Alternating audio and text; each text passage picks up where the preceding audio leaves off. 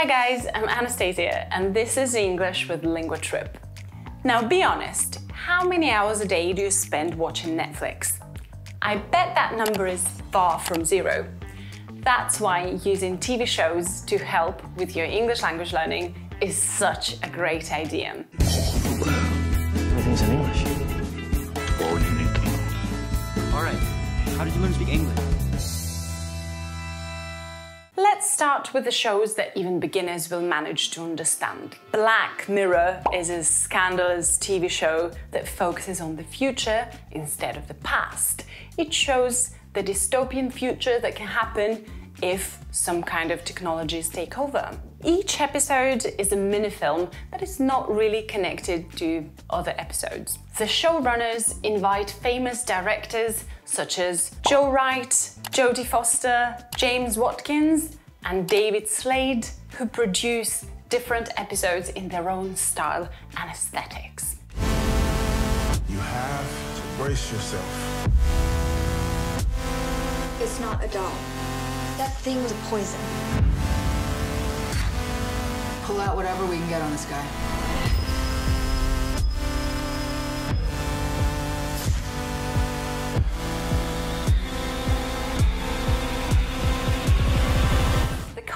Show is international, so you will hear a wide range of different English accents. The dialogues are usually well thought through, so even if you have a lower level of English, you'll be able to understand what's happening. The Crown is a historical drama that follows the story of the British royal family from the middle of the 20th century to the present day. The show is highly praised and criticized at the same time, so if you're a fan of the British royal family, that's definitely a must see for you. This country was still great when I came to the throne. All that's happened on my watch is the place has fallen apart. You cannot flinch. It's only fallen apart if we say it has. That's the thing about the monarchy. We paper over the cracks. In terms of English, you will learn a lot of idiomatic expressions, such as chance would be a fine thing, which means something would be great, but it's not likely to happen. A naval officer's stag night. Chance would be a fine thing. Or there wasn't a single person who supported the match, where the word match means a romantic relationship and a future marriage, and the phrase overall means that nobody approved of that. There wasn't a single person supported the match. Put all the expressions and traditional British accents aside, the plot is really easy to follow, so I believe even learners with lower English levels will be able to enjoy the show and follow the story. Oh, and by the way, in one of the episodes, Prince Charles, you know, he's the Prince of Wales, he's learning Welsh. Yay! That episode made me really happy because I live in Wales and I really like the Welsh language. So if you're curious about what the Welsh language sounds like, watch it.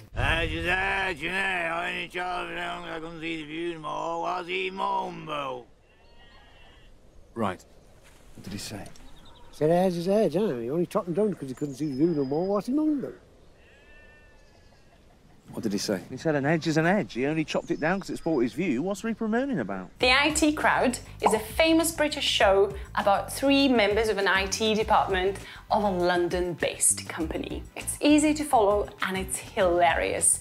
It's a great choice for those who want to boost their understanding of British accents and British expressions. Also, if you're planning to work for an IT industry, that can be a great source of IT vocabulary for you. You see, the driver hooks a function by patching the system call table. If you want to watch your favorite TV shows in English without subtitles and understand them better, including every joke and slang word, it's time to boost your English. Join the intensive course from intermediate to advanced on linguatrip.com. Find the link to book this course in the description box of this video. Now to the shows that are suitable for students with intermediate English level. Doctor Who is a famous British TV show that has been on air on BBC since 1963. The show follows the adventures of the Time Lord called the Doctor. He's an alien creature, but he looks like a human who is also able to travel through space and time. The show has definitely become a big part of pop culture in the UK and is a must see for all sci fi fans. I'm the Doctor. I'm a Time Lord. I've lived for over 2,000 years. You're an alien. Oh, lovely. Yeah. Well, what are you standing there for? Come on. It's called the TARDIS, listen. It's bigger on the inside. It can travel anywhere in time and space, and it's mine. So where are we going? Further than we've ever gone before. It was also filmed in Cardiff. There's another point for Wales, and I'm gonna do my little hooray for Wales dance. Here we go now.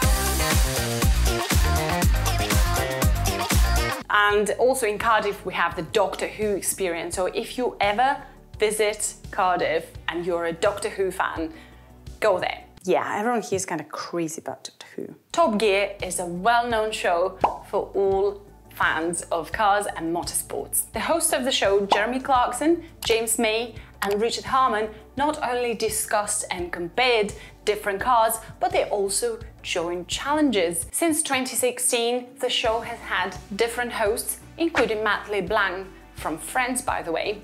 But the golden period of Top Gear is definitely between 2002 and 2015. Misfits.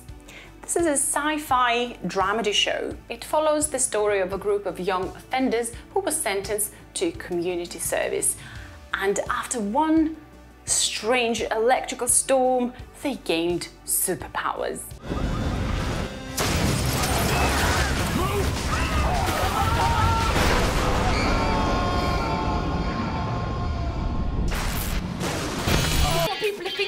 All this, it's already happened once. Time went backwards. What, you turn back time? What if we're meant to be like superheroes? Superheroes. That kind of thing only happens in America.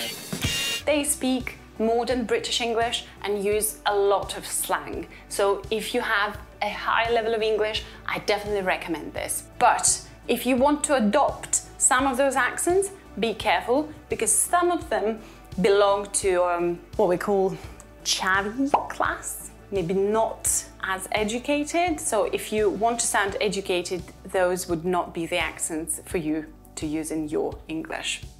At last, there are two British English TV shows for people with advanced levels of English. Downton Abbey is another British television hit. This is a historical drama set in a fictional Yorkshire estate called Downton Abbey in the early 20th century. We follow the lives of the aristocratic Crawley family and their servants, and we witness the great historical events such as the sinking of the Titanic, the First World War, the Spanish influenza pandemic, and we see how those important events influence the lifestyles, the habits, and the social positions of the main characters.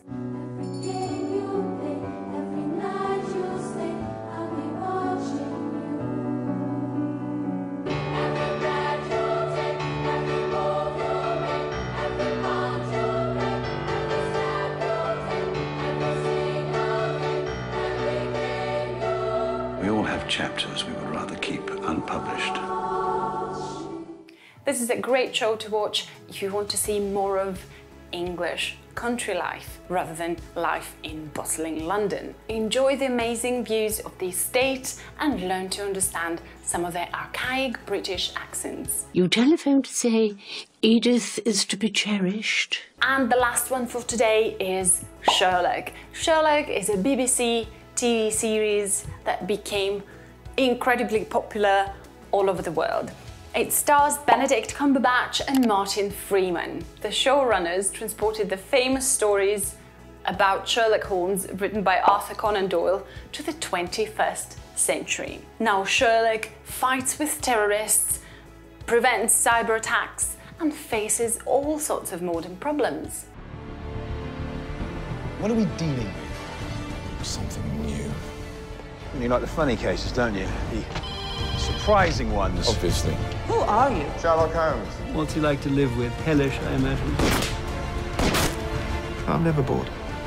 I'm sure if your English is at intermediate level, you'll be able to follow the show and really enjoy it. But if your English level is higher, you'll be able to understand all those jokes and puns. I hope that now every one of you will be able to find that right show for you to watch in English and work on the perfect British accent. If you're not sure what level you're at at the moment, follow the link in the description box and go to linguatrip.com and there you can have a free English level test.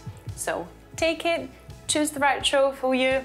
Let me know in the comments which of them you have seen, which of them you're planning to watch, and I'll see you in our next videos. Bye bye!